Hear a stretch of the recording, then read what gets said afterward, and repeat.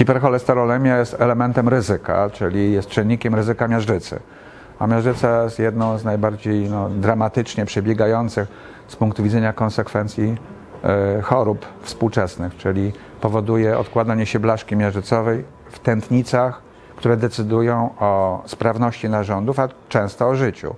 Czyli jeśli taka blaszka odłoży się w tętnicy wieńcowej lub w tętnicach wieńcowych, w szyjnych tętnicach, śródczaszkowych, nerkowych, obwodowych, to zamknięcie tego naczynia, bo człowiek ma duże y, możliwości adaptacyjne.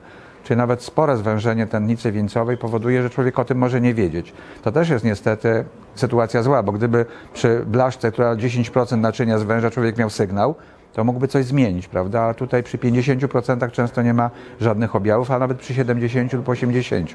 Ale jeśli ona pęknie, bo człowiek ma stresującą sytuację, ma wzrost ciśnienia krytyczny, pali papierosy intensywnie, ma zapalenie, bo mało mówiliśmy o zapaleniu. Zapalenie może zdestabilizować blaszkę, odłożą się tam, czyli przyciągną elementy krwi, bo to się nazywa aterotromboza.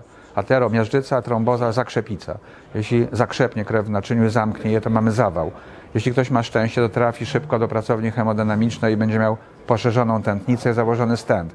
Ale 20% pacjentów przy nawet niedużych zawałach umiera przed dotarciem pomocy. Nagle na ulicy z powodu arytmii, która w przebiegu ostrych zespołów wieńcowych, w przebiegu zawałów występuje często. U 20% pacjentów choroba jest śmiertelna w ciągu pierwszych minut czy pierwszej godziny. Często pomoc nie zdąży przyjechać.